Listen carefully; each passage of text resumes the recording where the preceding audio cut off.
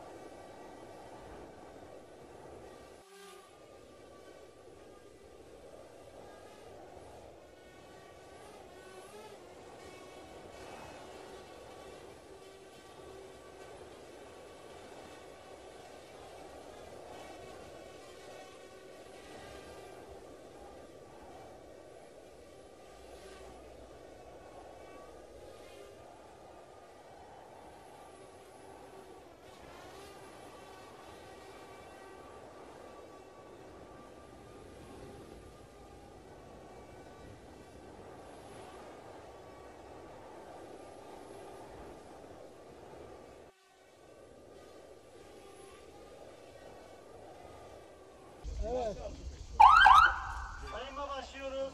10,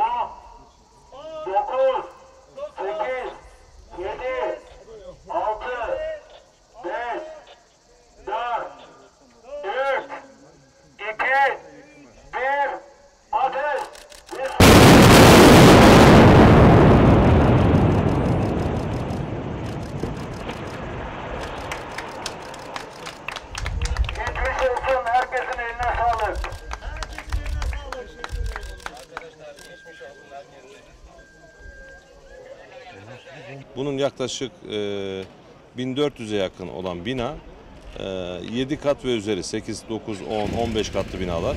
Bu binaların metrekareye vurduğunuzda yaklaşık 13-14 milyon metrekare yapıyor. Her bina ortalama 10 bin metrekare civarında. Bu binaların e, iş makinesi olan bir makas var. Bu makasla veya eskalatörle yıkılması mümkün değil.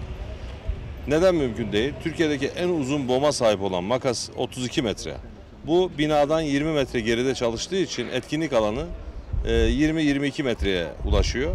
15 katlı bir binanın uzunluğu da 60 metre. Bu 60 metrelik bir binayı e, insan sağlığı, iş sağlığı, güvenliği açısından yıkılması e, teknik olarak mümkün değil. Bu yüzden biz bunu Avrupa'da ve Amerika'da uygulanan bir yöntem var. E, kontrollü patlatma yöntemi deniliyor buna. E, bu yöntemle yapıyoruz. Malatya'da da pazarcıkta geçen hafta bir deneme patlatması yaptık. Malatya özelinde de bugün Bismillah deyip başlayacağız. Mesela arkamızda e, yıkılacak olan bina e, 200 ye- 270 kilo e, patlayıcı kullanılarak kontrollü bir şekilde 3500'e yakın bir e, dinamit dokumunu yerleştirdiğimiz delikle bu yapılıyor. Bizim yöntemle buradaki 1400'e yakın binanın yıkılması maksimum 10 ay bulur. Yani Malatya'nın toplamında 30 milyon metrekare e, olan ağır hasarlı binaların yarısı bu şekilde.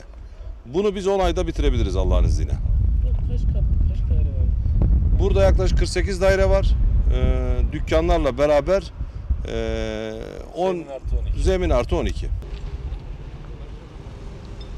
Üniversiteden destekli, simülasyonlu binaların statik projelerini alıyoruz. Üniversitelerde kontrol altında bunu teyit ettirdikten sonra simülasyonla yıkımını gerçekleştiriyoruz. Aynı uygulamayı da sahaya akuple ediyoruz.